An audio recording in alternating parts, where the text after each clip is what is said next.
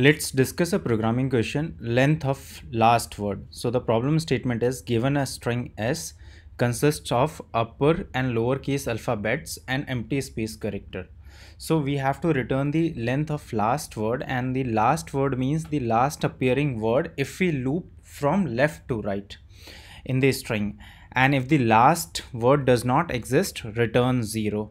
For example if you see in this example so the length of the last word is 5 now let's see one more example which is not uh, present here and the string is this one.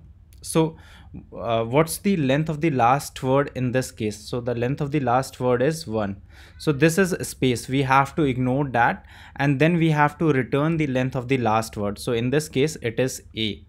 Uh, so it is 1 so this is the problem statement. And now let's uh, discuss how we can solve this problem Let's discuss how we can solve this problem. So in this problem, we have to find the length of the last word. So what we can do is we can start iterating the string from the end. And whenever we encounter the first space, till that point, whatever the count is, the count of the last word. For example, in this case, if we start iterating from uh, from the last until uh, the first space is encountered, the count is 5. So 5 uh, we return 5 but what about this case? Now if the string is a then a space. Then in this case the length of the last word is 1 but uh, in the uh, from the last the first character is space.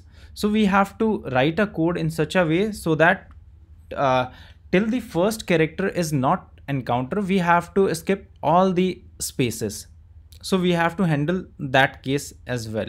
So I mean this case is pretty simple. And in this case we have to ignore all these spaces till first character is encounter. And then we have to count uh, count the length till the next space is encounter. So in this case the output is 1 now uh, let's discuss the code.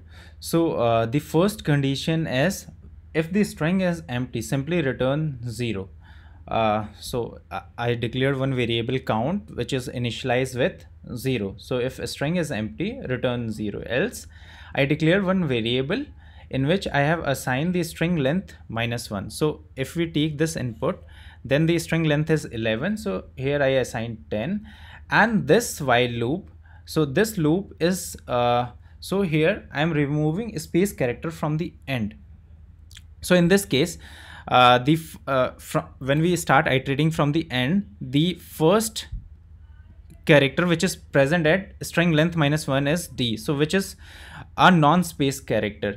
So if the current character so if the character present at uh, this current length so current length is uh, the string length minus 1 so it is the last index. If it is non-space then simply break the loop and we don't have to remove the space character from the end as it is not uh, present.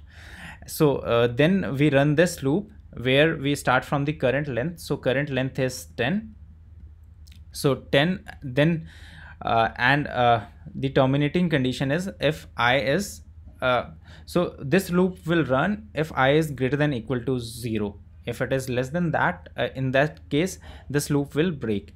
And here we are checking if we encounter the space, then simply break the loop, else increment the value of count. So for D, uh, it is non-space, so count is incremented and then uh, we have decremented uh, the value of i. So now it uh, goes to l.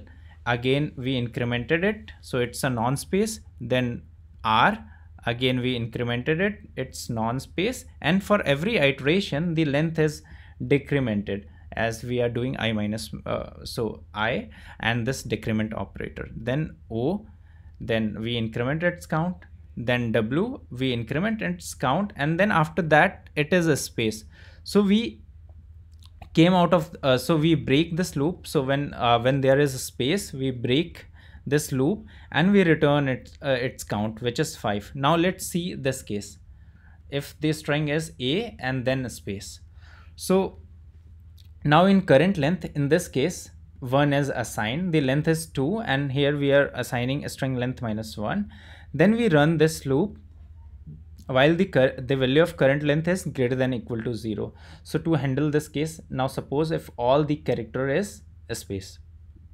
And here uh, the character present at current length which is 1 is a space so this condition is false and we decrement the value of current length which is 0 and now after that it is non-space character.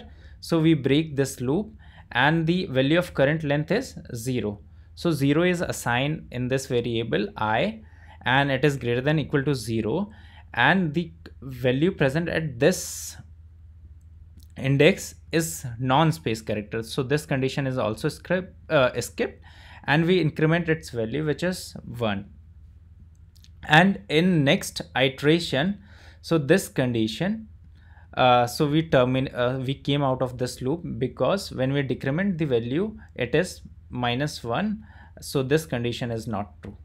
So we return 1 so this is how we can solve this problem so that's it for this video tutorial. For more such programming videos you can subscribe our youtube channel. You can visit our website which is https colon slash slash webrewrite.com thanks for watching this video